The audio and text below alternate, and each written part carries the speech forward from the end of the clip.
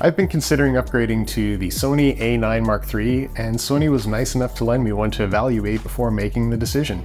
There are a lot of other videos covering the headline, features, and specs of the a9 Mark III, so I'm not going to go into all of that here. Instead, I'm really just going to go into the things that I wanted to know about the camera that I just didn't see covered anywhere else. This is going to be mainly from the perspective of a wedding photographer who currently shoots with Sony cameras, in my case the A1, and is curious about how the A9 III compares. At The Eastcore, we shoot hybrid stills and video, uh, quickly switching between the two formats on a wedding day. For that reason, we don't usually use log, we typically shoot 120p most of the time, and we constantly break the 180 degree shutter rule. We are not cinematographers, we are photographers first and foremost, and our video use is generally limited to little highlight reels secondary to our photography. I also don't often use flash and I prefer to use available light as often as possible, so I really didn't test out the flash sync benefits of the global shutter. I have been running into an increasing number of venues with problematic flickering LED lighting, and I really mostly was interested in testing how the global shutter handles these scenarios, so I'll be devoting a good chunk of this video to that aspect of the A9 III. The A9 III had plenty of surprises, so let's start off with the good surprises. First of all, the ergonomics. Sony has put so much attention into the physical ergonomics of the camera. I mean, every dial has this perfectly tuned, satisfying click. Every button has this deep, plump, springy level of travel. The shutter button just like naturally falling under your index finger. No more pinky finger without a place to rest. Sony really went to great lengths here to flip the scripts on the past use of the term Sony ergonomics. As a wedding photographer, I had my camera in, in, my hands for sometimes 12 hours a day, and that adds up to hundreds of hours over the course of a season. Another pleasant surprise was the AF and AI chip and just how much heavy lifting those two do. You know, I really underestimated just how intuitive the AI subject recognition is and how well it works in tandem with the AF system. In the A9, I mean, it actually made going back to the A1 feel like more work, which is crazy because I never felt like the A1 was lacking in AF in any regard, especially when it comes to people focus. I wasn't going to drag out the Atomos and do, you know, this sort of comparison on a wedding day, but I think the best way to demonstrate this is with this shot of my son Well, he works on his little 3D printing project here. With the A1, you can see that with his face partially obscured by his hat, it never really finds his face or eye. Switching to the A9 though, I mean, it literally has no problem finding him. And when his eye is visible, it just locks right onto it, no issues. So when it comes to AF consistency, the A1, I mean, it's fantastic, but I do expect to see the very odd, very occasional, slightly missed focus shot. And we're talking like maybe one out of every 50 or even 100 shots. But with the A9, it just, not a single image missed the entire day, none. Every single shot where there's a person in the frame has a person's eye absolutely perfect in focus. And I've never seen this, never seen it in a camera before until now. So another pleasant surprise with the A9 Mark III was the image stabilization. I mean, I already knew from the specs that the image stabilization had been improved over the A1 from like 5.5 EV to now 8 EV, but I just, I have to admit, this is one spec that wasn't even really on my radar until I got to try the camera. I didn't realize just how much of an improvement the image stabilization would be until trying it in person, especially with longer lenses like my 135. The image stabilization was so good that some of my 120p video shots look almost eerily like still shots if there's not enough subject movement in the scene. So, I mean, this never really happened with the A1, at least not in my hands. While I was on the wedding, I noticed that if there were multiple faces detected and I was in wide area autofocus, uh, the camera would show a little orange line under the selected subject. You know, I, again, I didn't want to explore this too much on the wedding day because that's not the time to be playing around with things you're not familiar with. But uh, when I got back to the studio, I actually discovered that I could use the joystick to jump to other detected faces in a scene. So this is the only one thing that I can think of that Sony's been missing in their cameras until now. I haven't seen this mentioned anywhere else, and I know this is something that a lot of Sony users have been asking for for years. Of course, at the time of making this video, my A1 is kind of currently in a firmware purgatory state as it's been recently updated to firmware version 2.0, which has been withdrawn. Um, and is no longer available. But I, I, did check to see if Sony added the ability to use the joystick to jump to other faces on the A1, and sadly they did not. It's a little bit of a bummer because it's a really cool feature, and it's it, like I said, it's really the last thing I could think of that could really be added to fully complete Sony's AF system, and they have done it here in the A9. Okay, so let's talk about the image quality of the camera. So looking strictly at the sensor performance, um, I'm not going to get into the dynamic range because we already know that it has a base ISO of 250 instead of 100, and that you lose that benefit of the peak dynamic range accordingly. Um, as for high ISO noise levels, uh, I mean, I've seen a lot of other internet reviewers and personalities making comments to the effect that the A9 III has a performance akin to that more of an APS-C sensor rather than a modern full frame. I mean, this would have been a big disappointment, but I'm happy to report that any notion that the A9 III is more like an APS-C in terms of performance, I mean, that's complete nonsense. How do I know this? Simple. I took the A9 Mark III, the A1, and the A7C, which is also a 24 megapixel full frame Sony with very reputable noise performance. I set up a scene where I had a manual strobe for lighting so that Nothing would move around as far as lighting's concerned. I took the same shots on all three cameras using the exact same lens and the same settings, and when I import the files into Lightroom, there's essentially little to no difference between the three cameras as far as noise levels are concerned at ISO 64 and 12800. Taking the A1 files and converting them to a 24 megapixel DNG this gets rid of any uh, resolution advantages and differences in A1, so it's a more fair comparison. Uh, there really isn't anything between the, the two cameras as far as noise is concerned. Having said all that, I did kind of miss the ability to crop in the way I do on the A1, but overall the A9 III image quality felt like I really wasn't taking a hit versus the A1. So this is a really good surprise because with all of the headlines out there and the, the talk of the global shutter coming with an image quality hit, you know, I really just didn't see that.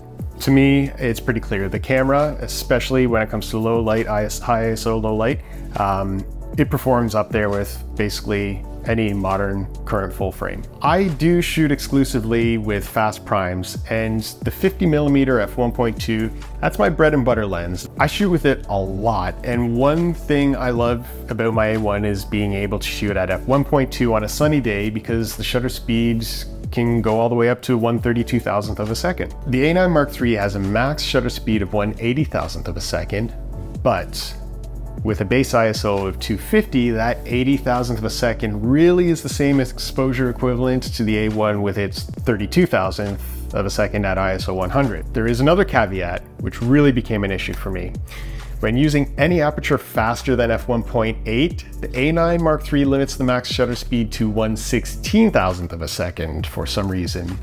With that ISO base of 250, I found that you know, I was hitting that exposure ceiling much more often than anticipated. I ended up swapping my 50 mil for the 135 millimeter f1.8 for the rest of the shoot on the A9 Mark III, and, and, that worked out better. I'm not sure why the A9 Mark III has this shutter speed limitation, but I mean, there must be some technical reason. Some people have said to me that Sony have a firmware update planned to remove the 16 thousandth of a second shutter limit, but I mean, that's only true for burst modes. That's, that's actually not true for apertures. So this limitation does have me pausing as far as considering upgrading to the A9 Mark III. Really, that was kind of the only negative uh, surprise it was, was just how often I was running into that, that limitation with the shutter speed at f1.2. Uh, so now, the thing I really wanted to try out was the global shutter and how it handles LED lighting. As I mentioned at the beginning of the video, we've been running into an increasing number of venues with problematic flickering lighting. This lighting is a problem for both stills and for video. I'm gonna try to avoid getting too technical here, but I mean, it does help to understand flicker rates and how flicker rates affect digital stills and video and why the global shutter had our hopes up as the solution. So first off, the flicker rate of LED lighting can vary anywhere from just under 60 hertz here in North America all the way up to thousands of hertz. We don't see it with our eyes, but we do see it in photos and video. In many cases, it's one of the most ruinous, challenging, and just limiting factors that we deal with on a regular basis. But this gets complicated when there are multiple flickering light sources with different timing and or flicker rates in a given situation. It becomes even more complicated when there's changing or dynamic flickering light sources, such as like cycling RGB lighting. At weddings, we see all of this, and it seems like there's just no limit to the challenge that different lights will present at different weddings and you know, the better tools we have to mitigate it and deal with this and handle these situations, the, the better we are. So I didn't get to stress test the global shutter on a wedding during my time with the A9 Mark III, but I do have a set of string lights that mimics the absolute most problematic venue lighting that we ever come across. I mean, these things flicker at just under 60 Hertz. This is the absolute worst case lighting scenario. It's the most limiting for trying to have to shoot in. To make things even worse, it's under the threshold of Sony camera's anti-flicker detection range, which is limited to 100 to 120 Hertz. Now keep in mind that these lights are just on. They do not flicker or pulse or fade when you're looking at them in person with the naked eye. It's only the cameras that see these effects. So keeping expectations real, there's still no way we could expect to record 120p video when the lighting is flickering at just under 60 Hertz. It, it's just impossible. We can't expect the global shutter to mitigate this. So in this situation, I mean, we would just switch to 24p and give up on any chance of getting any sort of slow motion video. Moving on to 24p with the A7C first, I mean, there's really no shutter speed that we can use to film in this type of lighting. Even going down to a 30th of a second, there's still some flickering and banding. So, I mean, just super challenging. When we move over to the A1, you can see we have some flickering and banding rolling throughout the frame, and it slowly improves until we fine tune the variable shutter to perfectly match the lighting phase. This takes a little bit of time and you know, you gotta mess around with the camera a little bit, but it's, it's super effective and it's definitely worth doing on a wedding day. Moving on to the A9 Mark III, this is where things get a bit more interesting. You can see that the global shutter is trading a faint band rolling throughout the frame for kind of more of a full frame flicker. If the variable shutter speed is not perfectly tuned, then you start to see the entire scene start to flicker. I tried using the flicker scan function several times, which is supposed to essentially detect the perfect shutter speed to eliminate the, the flickering, but I mean, it just doesn't seem to work here. So when we do end up dialing in the, the perfect variable shutter, uh, it, it's it's essentially perfect. It's it's just like the A1, and uh, and that's what we would have to do in this situation. Now for stills photography in this worst case LED lighting scenario. So first of all, none of the cameras are able to detect the flicker rate, so none are able to effectively or reliably capture the lighting phase. The A1 really can't capture the entire lighting phase at any shutter speed faster than 1 60th of a second, and we end up with a mix of some lights on, some lights off in the same frame.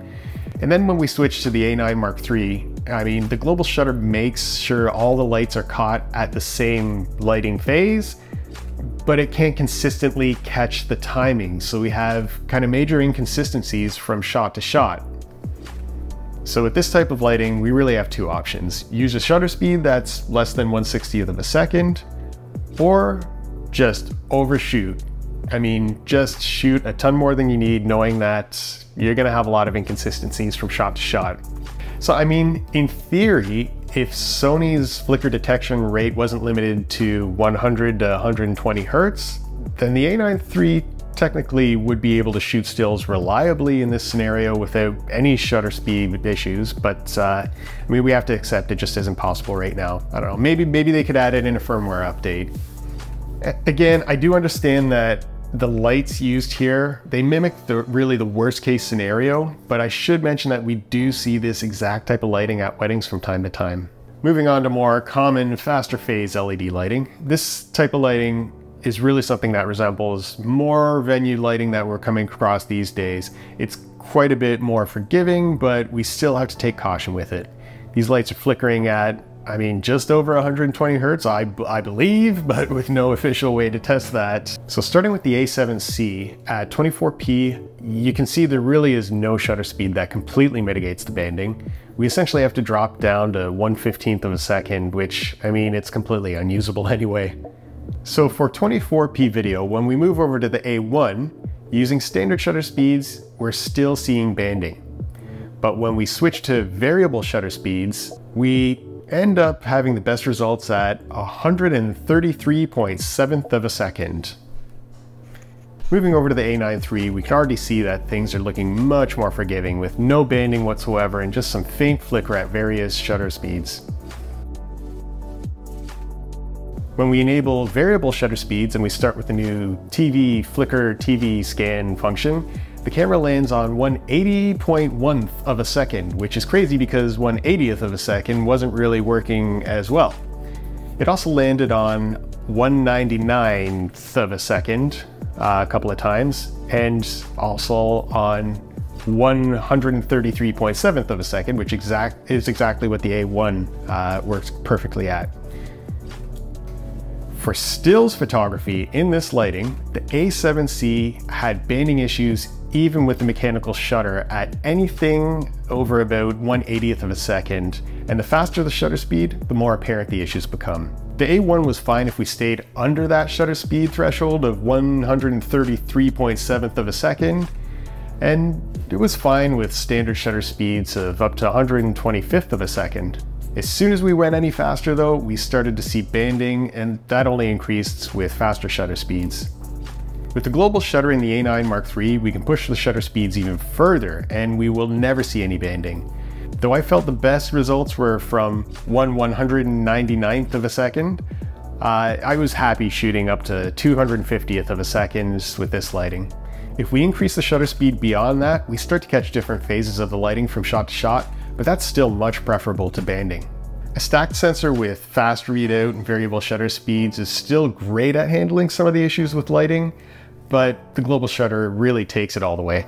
So I want to thank Sony for lending me the A9 Mark III uh, to evaluate and you know, it really did help answer a lot of my questions as far as the camera is concerned. If I were starting from scratch though, and I didn't have the A1, if I were looking between the two cameras, I think I would choose the A9 Mark III. Uh, there was just so many refinements and just upgrades in the camera.